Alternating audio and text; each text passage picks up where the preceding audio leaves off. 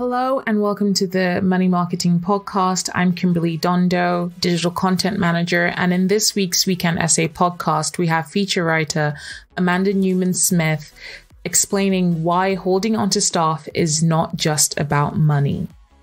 Take it away, Amanda. Why do you work for your employer? Be honest. Is it the money? Is it other perks? Is it the people you work with or the clients you deal with? Perhaps you're lucky and it's a bit of everything that keeps you content enough not to look elsewhere. Or perhaps you are eyeing a move and are only with your present employer until the right opportunity comes along. I ask these questions because I've recently been looking at how advice firms can retain staff without giving them a pay rise. I've just realised that sounds like a tightwad's guide to recruitment by Ebenezer Scrooge, but I don't mean it like that. It's more of a recognition that companies have had to tighten their belts, like everyone else, as the cost of doing business has risen. Although there is some optimism, depending on what you read and believe, being careful in spending the money you have is sensible for businesses as well as individuals.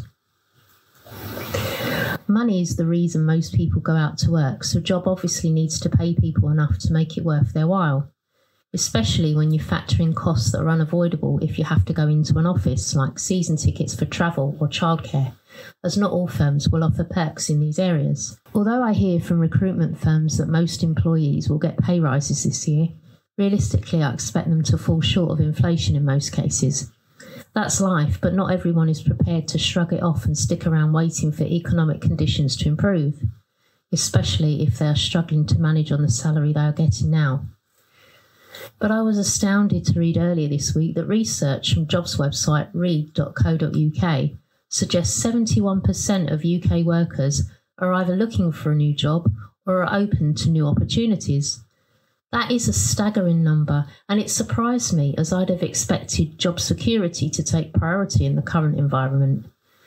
But my contacts in the recruitment world tell me that there are still more job vacancies than people to fill them and most job hunters are already employed, so it is a market that favours the candidates. Money talks is a phrase I've heard a lot to explain people's eagerness to move.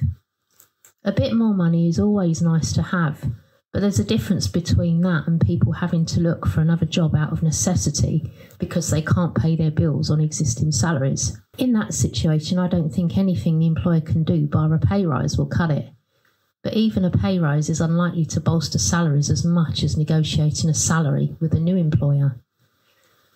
My husband, Dan, sees a lot of game playing around salary negotiation in his line of work. Many a time he has interviewed someone from another construction firm for a job and offered them an uplift on their current salary as an incentive to join. But then the candidate goes back to their employer, tells them what is on offer if they move, and miraculously, that firm matches it, so the candidate stays put. It's highly frustrating for an employer to realise they were being used by a job candidate as a bartering tool, but it comes with the territory for Dan. As he says, he is looking for people who can negotiate costs with clients as part of their role as quantity surveyors. So if they can't negotiate their own salary, it doesn't look good to an employer. But for the rest of us outside this industry, it shows why it's important for firms to work out how to retain good staff in the first place. You might have open and honest communication with your employees about their remuneration packages, but when you're recruiting, that might not be the case with the candidate and their existing employer. Dan tells me that sometimes in his industry, threatening to leave or following it through before returning to the firm in a more senior role is the only way some people can progress.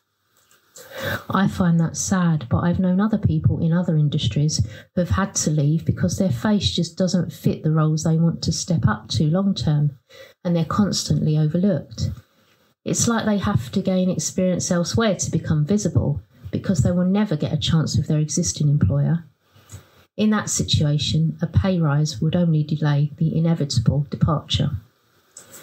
A pay increase may act as something of a sticking plaster, helping to retain employees in the short term, Laura Tracy, employment partner at national law firm Freeths, told me. Longer term, though, firms that offer a better employee experience are the ones that will hold on to employees. I've also seen Dan experience that in his career. He's had promotion and the salary increase that comes with that, but still not been happy. I didn't understand why. What more can the company do? I asked. Then he explained. To Dan, it wasn't a true promotion that recognised him as the best person for the job. A new fancy job title that was meaningless because the role was essentially the same, and a few more quid each month that lost its wow factor once tax was taken off, didn't have the impact the employer was hoping for. It felt like a sop, and when the right position came along elsewhere, Dan left. If I was an employer, I'd want to do all I could to ensure good employees were content enough not to leave. Like moving house, recruiting new staff is something I wouldn't want to do too often because of the hassle and the costs involved. As executive recruitment firm Bentley Lewis founder Lewis Maller told me, giving staff a pay rise is usually cheaper than losing them, redistributing their work, which could impact on productivity elsewhere in the team, then having to advertise for a replacement and pay them more than their predecessor's pay rise would have been. Having watched various versions of the TV show Undercover Boss, I'm aware that the people at the top may not know what's really going on in the company below a certain level. It's not necessarily because they're not interested or they haven't got the time. It can simply be that the people around them see their role as protecting the big boss from the minutiae of company life. But it's so important for them to see these things and not beneath those in senior positions. I think that can be a problem as it's often a shock for bosses to see how many great people they employ who are not getting the recognition, the support, the promotion, or the salary they deserve. Even in companies that like to think they have their fingers on the pulse when it comes to talent spotting from within and caring about their employees, talented people are stuck in dead end roles or struggling to make ends meet while going above and beyond for customers.